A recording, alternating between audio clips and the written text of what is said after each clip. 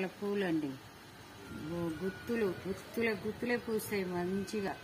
చెట్టుకు బాగా అందంగా ఉంటాయండి. బాగుంటాయండి. చూడండి చెట్టుకి ఎలా ఉన్నాయో. అంత ఎంత మంచిగా మొలిచినాయి చూడండి. బాగా పూసినాయి. ఇవి చెంబేరి పూలు. చాలా బాగుంటాయి. దేవుళ్ళకు అవసరం వస్తాయి. చాలా భక్తితోని పెట్టవచ్చు ఇది డబల్ మల్లె అండి. మా ఇంట్లో చెట్టు అండి మూడు రకాలు కూడా. చాలా మంచిగా పూస్తాయి డబల్ మల్లె వాసన బాగుంటాయి.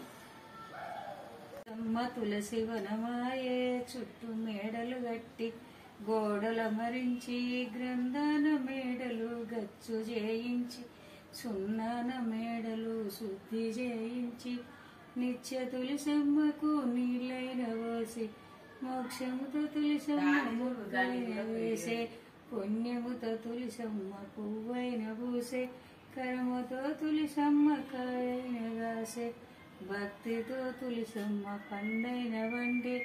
ఆ పండు ఆ తులసి ఎవరికి ఒప్పు? బ్రహ్మదేవతల కొప్పు బ్రాహ్మణుల కొప్పు కోటి దేవతల కొప్పు కోమాట్ల కొప్పు. నిత్య తులసమ్మ మేలుకోవమ్మ.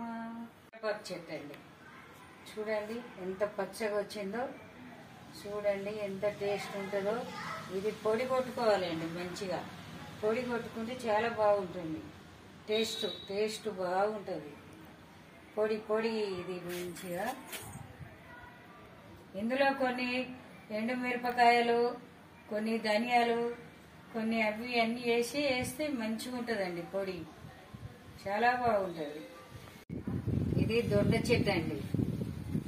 నేను ఏ దానికైనా ఇంత కూడా మందే ఇట్లేను చాలా బాగా ఎదుగుతున్నాయి. టేస్ట్ బాగుంటాయి ఇవి కూడా.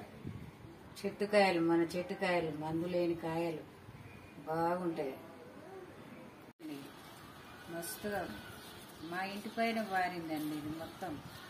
ఇంత ఇంతలా పూస్తాయండి అవి. బాగా ఉంటాయి. చెట్టు మొత్తం పూస్తాయి నిండా. బాగుంటాయి. ఇంకా ఇది చాలా మంచిదండి. మందు లేకుండా పండిస్తున్నాం మేము. ఆంధ్ర గోంగూర అంటారు కదా ఇది ఎర్ర గోంగూర చాలా టేస్ట్గా ఉంటుంది.